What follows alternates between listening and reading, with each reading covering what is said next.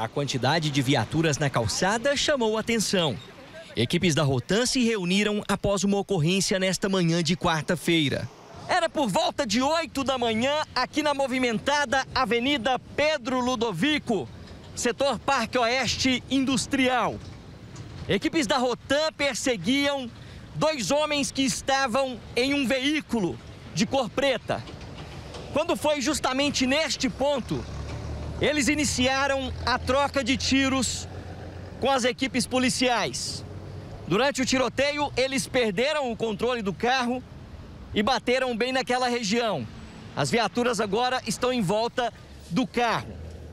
Na troca de tiros, os dois homens que estavam no veículo levaram a pior e morreram na hora. A equipe do SAMU esteve no local, notificou a morte dos dois homens. A dupla teria roubado dois carros no domingo, dia 30. Um na região do Água Branca, próximo ao Serra Dourada, e outro na Vila Brasília. Equipes de Rotan receberam informações de que um dos veículos estaria na região do Parque Oeste. Aí o Rotan Comando Tenente Bruno começou a intensificar o patrulhamento nessa região e deparou com um gol, inclusive com a mesma placa citada no registro de atendimento integrado das duas vítimas. Inclusive a vítima acabou de reconhecê-los. Deparou com esse gol.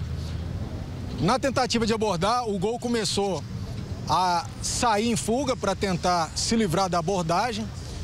A equipe acompanhou, houve troca de tiros durante esse acompanhamento e que resultou que agora, ah, após o gol perder o controle, batendo em um poste em uma planta, aqui na porta do estabelecimento comercial, no Parque Oeste Industrial, onde terminou o final da troca de tiros com os dois ladrões alvejados, policiais bem.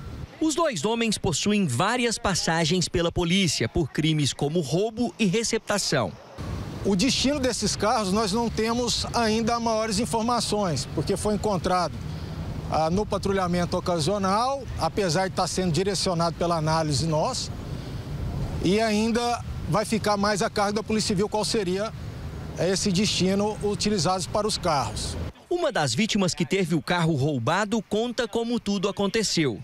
Por volta das 7h42 da manhã, os dois indivíduos desceram no, no gol preto, a, a cor era o chumbo mais ou menos, e muito violento, armado, colocou a arma no meu pescoço e, e disseram para mim descer do carro.